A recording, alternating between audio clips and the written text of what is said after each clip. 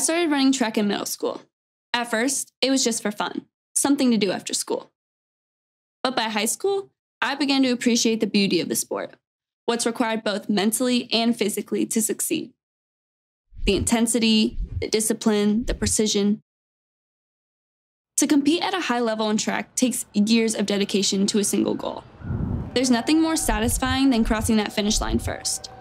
But running is only satisfying, and all that sacrifice is only worth it if the race is fair.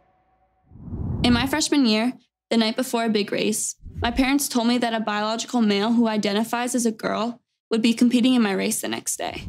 On the bus heading to the event, our coach also gave me the news.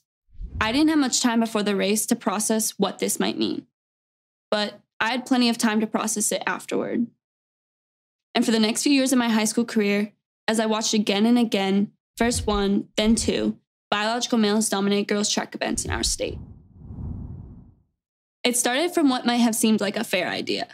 The Connecticut Athletic Association decided that males who believe they are girls can compete against girls. But beliefs don't change biology, and the result has been anything but fair. Since 2017, the two biological male runners who have competed in girls' high school track in Connecticut have won 15 women's track championship titles, titles that were held by nine different girls in 2016.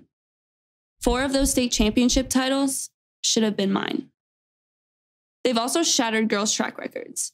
Those two biological males now hold 17 all time individual women's meet records in Connecticut.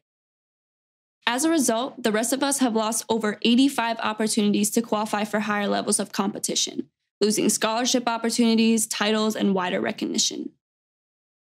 I remember the 55 meter indoor track competition in the 2019 state championship.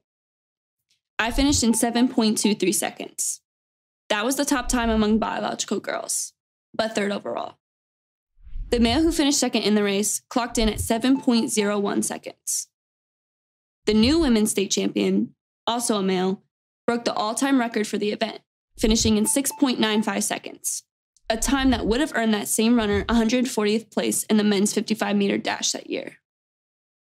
It's hard to explain the feeling that no matter how talented you are, no matter how hard you train, how much you practice, how much you want to win, you've already lost before the competition even begins. Losing builds character, but only if the competition is fair.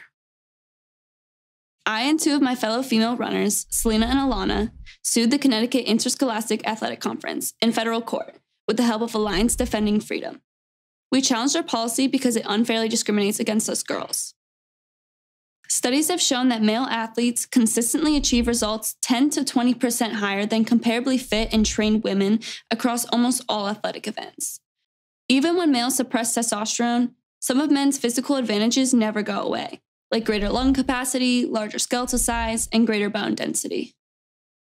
In 1972, Congress passed Title IX, a civil rights law that was designed, in part, to stop discrimination against girls and women and to provide them with equal athletic opportunities. But now, in the name of progress, Connecticut and other states are undoing all of that. For the first time in nearly 50 years, they are tilting the playing field against women. That's not progress, and that's not fairness. It's discrimination. When the law reflects real biological differences between males and females, that's a good thing. When it doesn't, girls like me suffer the most harm.